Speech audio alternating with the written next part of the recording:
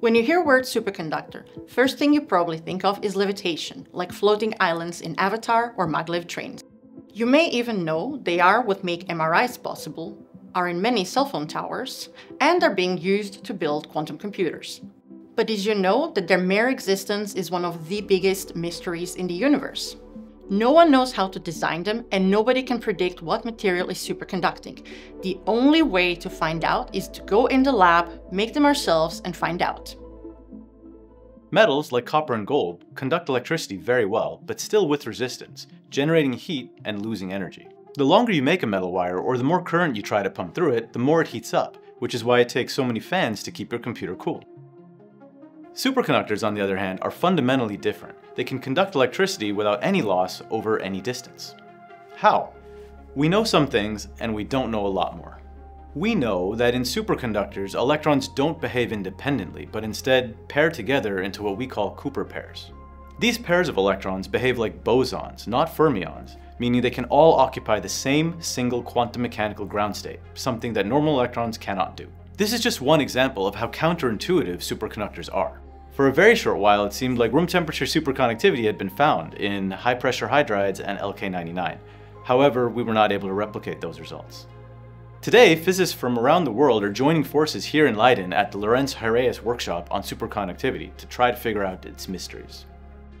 It's a very exciting time. In the last decade, we've had major breakthroughs in controlling superconductivity, demonstrating the superconducting diode effect, electrical gate control, and discovering layered materials that can maintain superconductivity to extremely high magnetic fields.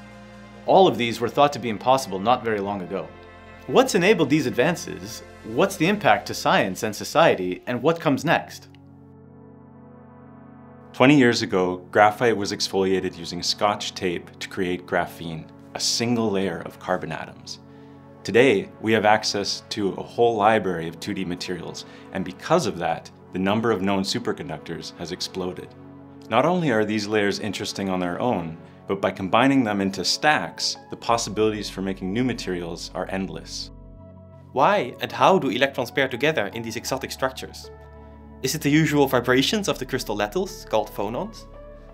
Or is it something completely new, like spin fluctuations, plasma oscillations, or some unknown mechanism? There's plenty of evidence that superconductivity in 2D is really different than in bulk.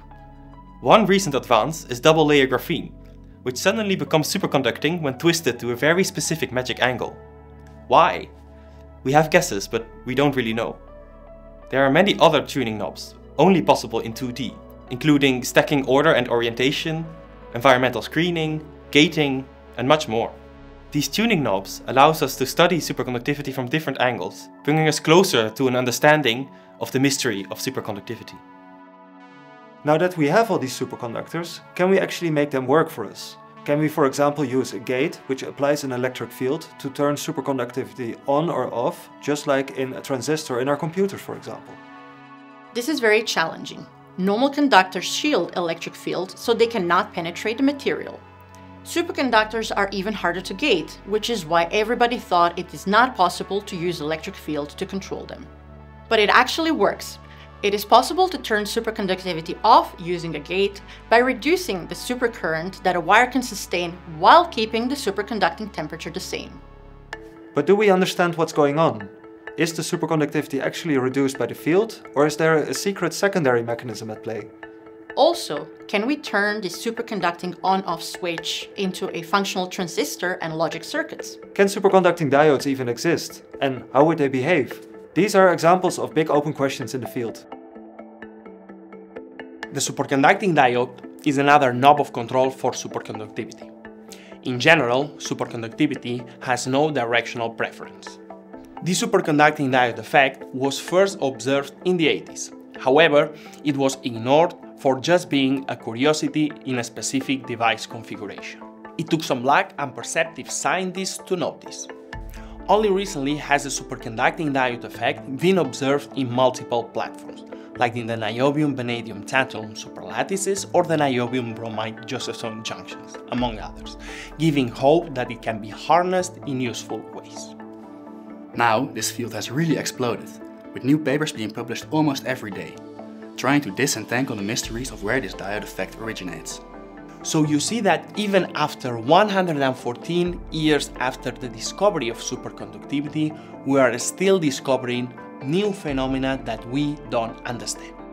Underlying all of these discoveries are materials and the tools and methods used to make them, whether adaptations of semiconductor technologies, new ways to stack atomically thin layers, or the creation of new superconductors. If there is one thing I have learned over the last two decades in the field of superconductivity, it's that it is impossible to predict the future.